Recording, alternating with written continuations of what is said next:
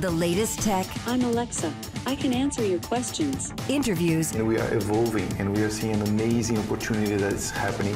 accessibility. Accessibility is, is one of our core values. It's even a part of our mission statement. This is Double Tap TV. Welcome to this edition of Double Tap TV. Thank you guys so much for being here each and every single week. You know, it's been a really, really fun year, a fun season here on Double Tap TV. Season three, if you're counting, guys.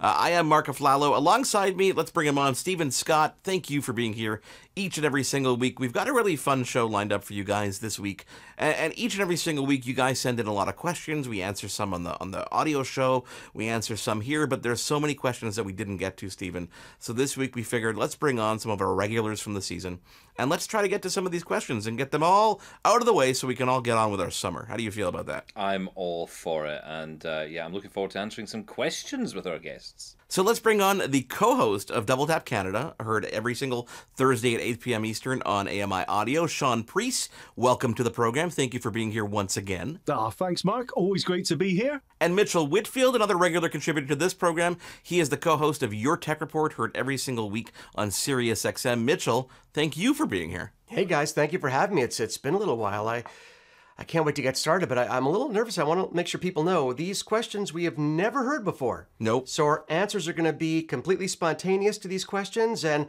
I look forward to giving a completely spontaneously bad answer. They are all spontaneous and they are unscreened, and uh, not only that, but they are all personal and extremely private in nature, guys. Let's do this. Let Let's start with the hardest one here, okay, guys? What is the best smart speaker for outdoor listening? Ooh, Mitchell, I'm gonna let you start with this one because that's a really personal question. Uh, it is a very personal question, but it kind of feeds into something that I received as a gift recently, and that would be the Sonos Move. I've known about the Sonos ecosystem for a very long time. Uh, started listening to it early on. And I feel that when Sonos first started, it was more about connecting your home's audio and less about the audio quality.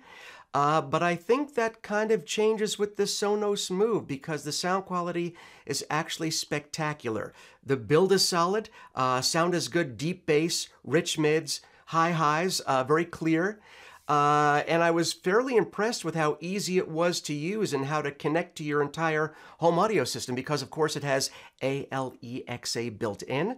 I don't want to say it out loud because it'll set off all of our homes. Uh, but it really is kind of the perfect solution for bringing audio into your home, out into the backyard, anywhere you want, really, and you're not compromising as you used to in the past uh, to get the connectivity and getting bad sound. Now the sound is actually fantastic. So, um, if I had to say my favorite right now, it would be the Sonos Move. Even though a little bit on the expensive side, guys, it's not cheap, but if you have the money for it, it really is wonderful. Well, you just uh, picked up on uh, my favorite one, so I'm gonna have to give that a second vote. Shaun, you got a selection for an outdoor speaker? Yes, and it's an easy one for me, and it's uh, an answer that I give to a lot of things. Get the cheapest one you can get because yes, because um, look. For me, it doesn't matter because I, I I tend to leave these things behind. I'll leave it or lose it on the beach or on a campsite. Um, so I want something that I don't care if I'm going to lose. Yes, Sonos have some great options. You have Ultimate Ear, uh, the Boom series, you know, Wonder Boom, Mega Booms, um, JBL. Um, there's Anker have a, a, a good outdoor one as well. And look, these are all great options. And if you have a a backyard or a, a, space, an outside area that you really want to fill with music, then yes, go with one of those. But if some if it's something you just want to throw in your backpack and take with you while you're doing a barbecue or whatever it may be, then I would say as long as it's waterproof, as long as it's obviously battery powered, then um, yeah, go with anything really. Um, the whole thing for, with me and outdoor tech is that I'm going to lose it. So go with the cheapest one you can find. Steven, got anything to add, or are you just gonna go with our decisions? Uh, No, I, I can add to that, and I will also add to the to Shaun's comments and say, uh, don't listen to a word that Shaun Preece says on this topic because he has got no standards when it comes to well anything, frankly, but certainly sound quality for sure. Um, no, for me, I would certainly go with the Sonos Move. I haven't heard the Sonos Move, so I agree with you. I totally agree with you on it. The one I have heard though, which I think is brilliant from the same line, is the Sonos Roam speaker. Now this is R O A M, uh, it is uh, even more portable than the Move, and I, this is ideally for you know going away for the day, or perhaps you know chucking into the back of the car, or you know into the backpack and, and going off camping, or you know whatever it is you're doing outside, and it gives you access to the Sonos sound on on the Move essentially outside. But it's ideal again for those barbecues, those days in the, the, the garden, whatever you might be doing. Uh, I'd also you know give a nod to the Bose SoundLink Mini which is actually a fantastic little speaker. Again, waterproof, uh, very small, you know, palm of the hand size. Uh, it's not a, a, big speaker at all. What I love about it is you can, if you buy two of them, you can stereo pair them. As uh, you can just stick them onto the garden fence, and suddenly you've got stereo sound in your garden, uh, whatever distance apart you wish to, to put them. So really nice speakers, and all coming in that sort of two hundred dollar mark. Okay, let's go some rapid you know, fire. Mark, I just want to I just want to jump in a second because I, I, you know, Steve made a really good point, and I and I wanted to make. I, I wanted to make sure that people understood that in terms of portable speaker, the Sonos Move is really meant to be portable from your living room to the bedroom to the yard. It's a little bit heavy to be your take along speaker if you wanted to go along with Shaun and take your speaker into the woods for a picnic or whatever you're going to do. Uh, it is a little heavy to transport around, so it's not really portable in terms of throwing in your backpack, but it is portable in terms of moving around your home. We're talking all about your questions throughout the season here on Double Tap TV. We are joined by, of course, Stephen Scott. Shaun Preece is here as well as Mitchell Whitfield. Guys, I'm going to go some rapid fire here because I, I don't want to spend too much time on everything because we've got lots of questions I want to get to. So, just in, in one or two words, uh, tell me what are your favorite headphones? Mitchell, go. Oh, wow. Uh, boy, uh, boy, okay. Uh, Bose Noise Canceling Quiet Comfort 2 headphones. Shaun Preece? Oh, easy one. The Echo Buds. I love having the uh, Lady A voice assistant in my head. Perfect. Stephen Scott? AirPods Max. Of course, he has to go with the Apple. I'm I'm gonna go. I'm gonna go with the. I'm gonna go with the JBL. Uh, the JBL. I don't even remember the model. The uh, what are they? The Elite? No, the Jabra Elite. The 85Ts. They are phenomenal. I love the sound quality. That's a fantastic. The, yeah, the, yeah, they're a brilliant. Yeah, they're quite quite phenomenal there. Um, so we did a, a couple episodes ago. We did a show on dual screen devices. We obviously have you know this the Surface Duo and of course other Samsung devices. And uh, we had a question here from James Van Gent who asks, "What kind of protective casing should I use for these dual screen devices, and how bulky will they get with a case?" And last one, what happens if one of the screens cracks and, and the other one doesn't? Stephen? Uh, well, you're screwed. I think is the bottom line. Um, yeah, I, I, think the best advice I can give is don't drop it, don't break it.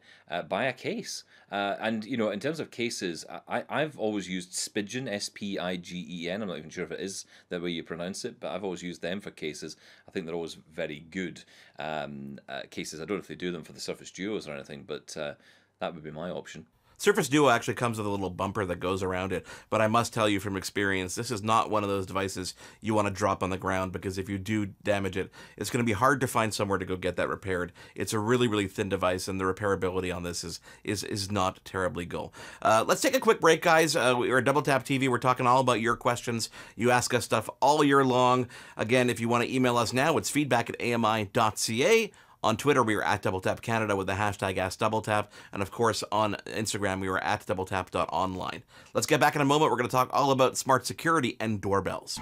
Love Double Tap TV? Listen to AMI Audio for Double Tap Canada every Thursday at 8 p.m. Eastern for news and reviews on everything tech.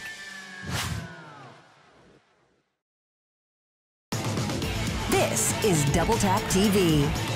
Back on Double Tap TV. Thank you guys so much for being here along for the ride. I am joined this week by my co host, Stephen Scott. Hi, Stephen. Shaun Preece, the co host of Double Tap Canada, heard every single Thursday at 8 p.m. Eastern on AMI Audio. And Mitchell Whitfield, the co host of Your Tech Report, heard each week on Sirius XM. Gentlemen, the next question up for today Can smart tech help me keep fit? Ooh, I am definitely not the right person to answer that question. I'm going to go to the lightest person on screen now, Mitchell Whitfield. You know, yeah. I think technology, especially smart tech, smart technology, can inspire you. What I mean by that is, uh, you know, I don't mean, of course, like it's coming down from the heavens and changing your perception of the world. Yeah, exactly. Like the clouds opening and this beam of inspiration. Even if a device like the Apple Watch, and I'm going to use the Apple Watch, I know Steven's a fan. I know there are a lot of people out there that love their Apple Watch. Having that on your wrist every day, and the complications that are on there, whatever complications you have, simple stuff like your steps, for example.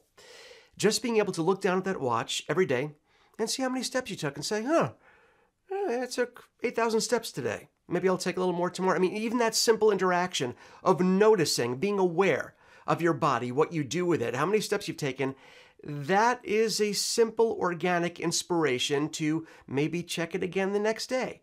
Maybe you're tracking your sleep, maybe you're tracking your diet, what you've eaten, how often you eat. These are all ways that organically and again i use the word organically because it's it's something that you know you, it's not like going to the, i have to go to the gym today. Oh i really hate going to the gym. It's something that's already on your wrist. You're noticing it when you you know bring up your wrist here to look at the time. So you're noticing things organically that tend to stick you know? And just having that every day in your head how many steps have i taken? Maybe i'll take more tomorrow. Uh, maybe i'll be more aware of my sleeping patterns. I have to take a little rest.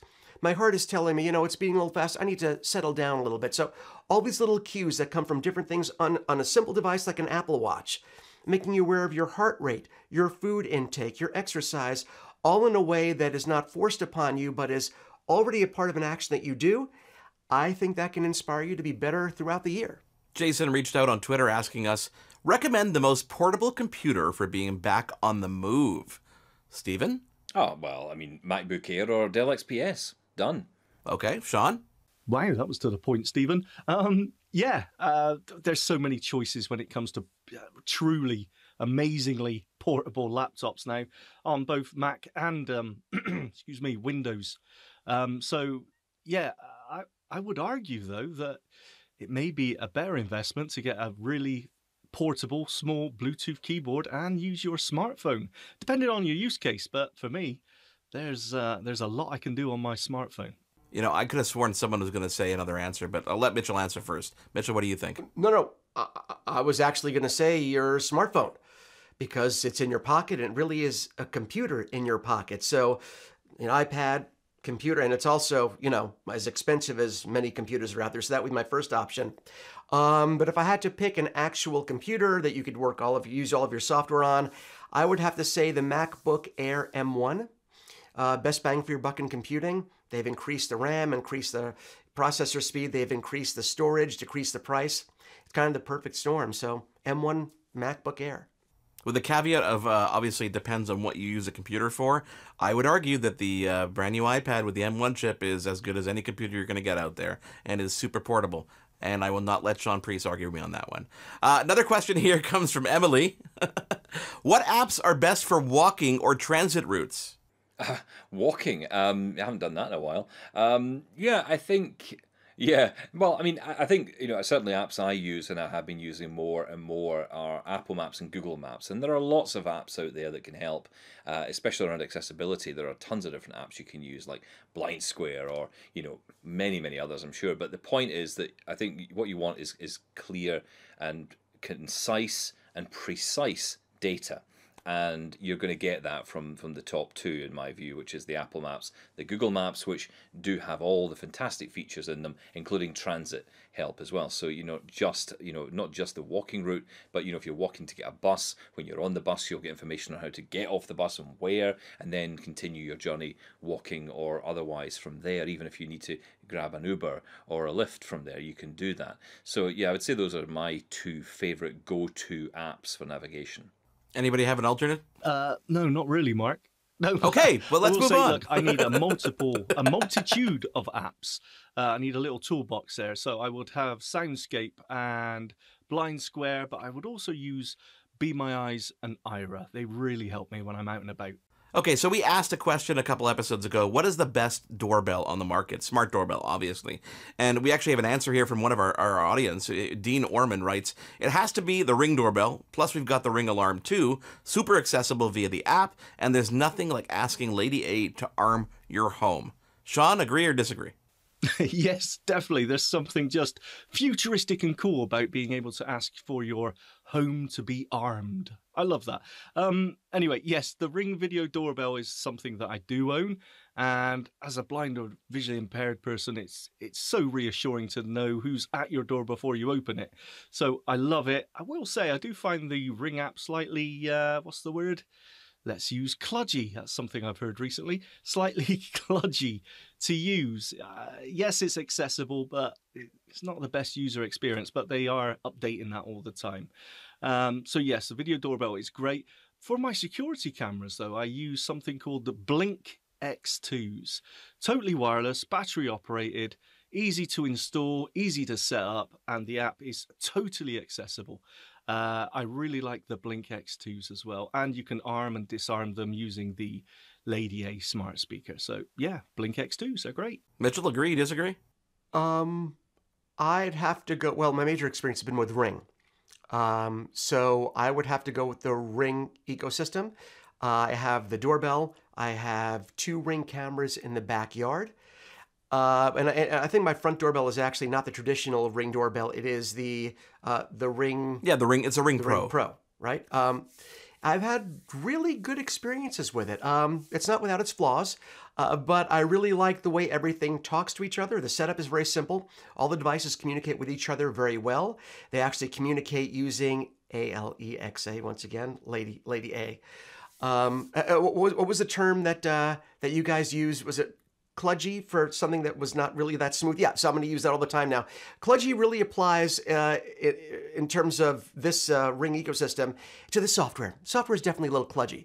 Uh, we could use a little bit on the back end to control everything a little bit better, but in terms of setting everything up, the way it works, access, accessing cameras whenever you want, saying, hey, show me the front yard, show me the backyard, show me my front door, all and being able to set those things up incredible. It works really really well. I would just like to see the software work a little better. Let us tweak things a little bit to set up to the, the control that we would want to do personally. Aside from that in love with the ecosystem love the way everything works. Again my experience is sort of limited to the ring. I'd like to try other things but i love my ring. I know Steven uses Ring as well at his house, but I'm going to have to take my hats off because a year ago I would have said Ring, but the Logitech Circle View doorbell has blown my mind. It's it's it's a incredible in terms of the quality it records. It's got a built-in light and motion sensors. It works beautifully with HomeKit and can actually look into your photos library and identify people. So if the doorbell rings, it will say something like, mm, you know, doorbell ringing might be Mitchell, might be Shaun, might be Steven. Really, really cool. Plus, it, it, it works right into HomeKit. So on your Apple TV, on any of your versions of your Apple TV, you can pull that up and you could see that there as well. But, you know, I'd have to say that Ring Ring is up there. They've been around. They've been around since day one, and they've definitely kept kept every innovation going, and they definitely are quick and responsive. But I, Logitech is good. Well, can, can I? No. Can I just very quickly uh, just mention two things? One, I'm doing it anyway. The Rapid Ring app is a fantastic app. If you find that sometimes connecting to the doorbell is too slow, get the Rapid Ring app instead. Uh, it will work with the Ring account, which is fantastic. And also, you can ask Lady A to answer the door for you. So you can actually talk to the person at the front door, either with the Echo devices with the screen or even without. We are talking all about your questions throughout the season. Thank you guys so much for being here. If you've got one, it's feedback at ami.ca by email, on Twitter at DoubleTapCanada with the hashtag AskDoubleTap, and on Instagram it is at Double DoubleTap.online. We take a quick break and come back to wrap up with some other questions we've got here from you here on Double Tap TV. For more great Double Tap TV content, visit ami.ca slash double tap. This is Double Tap TV. We are back on Double Tap TV talking all about your questions and, more importantly, actually answering them. Alongside me this week is, of course, Stephen Scott, who's here each and every single week, Shaun Preece, and Mitchell Whitfield. Gentlemen, we only have a couple minutes, so let's ask, uh, let's answer a question from Gordon Anthony. He writes, trying to use voice control on iPhone. I hear it swipe in response to verbal commands, but I get no feedback from VoiceOver on what item is in focus. Anything you can suggest? Hmm. I think that long pause that means that we're not quite sure, Gordon. Um, so voice control and voiceover should work together nicely, actually. Um, lots of people say that voice commands and uh, uh, voiceover aren't sort of compatible. I've heard people ring the Apple Accessibility Help Desk and be told, no, you can't use voice uh, voiceover and voice control at the same time, which is utter nonsense. You can totally. There's voice control commands specific for voiceover. Um, now, as for your specific problem, as in that swish sound that you're hearing is the uh, sort of acknowledgement that it heard your voice command, and why you're not getting any voice uh, voiceover feedback from that. I'm not entirely sure. I'll be honest with you. Um, with the latest updates to iOS, voice control has improved a lot. Uh, a lot of the bugs have been ironed out there. Uh, but I'll be honest with you, there's no reason why VoiceOver shouldn't be announcing whatever item you're on after you do a voice control command. So, yeah, I'm not entirely sure on that one. So let's let's say we'll research it and try to figure that out for him while we do that. Okay. Another question comes in: uh, Is there a smart tech out there to make cookouts more fun? I'm guessing a cookout means like on a gathering outside, which we haven't done for two years. Um, uh, I would definitely definitely have to go with the smart thermometer for my barbecue. Um, Weber makes an incredible iGrill. They actually bought the iGrill brand, and it has you know four potential prongs. You can plug them into steaks, into chicken, and actually set cooking instructions in the app, and it'll notify you exactly what to do. It takes honestly. You don't need to be smart about the barbecue, even if you're really good at it. This makes sure that you'll get a beautiful steak or chicken or anything that you're cooking every single time. Anybody else? That's that, that that's really a good one. You know, I think you know Shaun mentioned earlier. You know, he likes to take a smart speaker everywhere as long as it's cheap. Uh, I think having a good cheap smart speaker that you could just knock the heck out of and uh, waterproof, long battery life that'd be a good thing to have with you. Um, I wonder if there are any smart lighting options that are portable. Uh, that would work. Those would be great to have with you when you're out camping or on a picnic. Smart light setup that was portable. Have you ever heard of something like that? Or something you could think of offhand? I can't, you know, I can't think of smart lighting. I definitely have to go with you on the Right. speaker side of things. Stephen, you've got that, you know, synthetic turf in your backyard. What do you bring out there to make uh, gatherings more exciting? Uh, someone else to cook the food. That's the bottom line for me. Uh, always get someone else to do it, and then w- we all survive.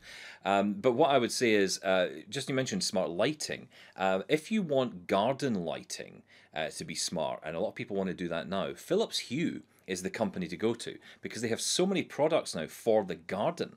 Uh, and I have to say, Philips has probably got to be the easiest setup uh, hardware I've ever had. So if I buy a light uh, and I plug it in, I just ask my Lady A to detect devices or discover devices, and, and it's there. It's, it's instantly dragged into the app. I'm able to control it within uh, literally two minutes. Of, of turning it on, which is absolutely brilliant. Not something which is the case for all of these smart products.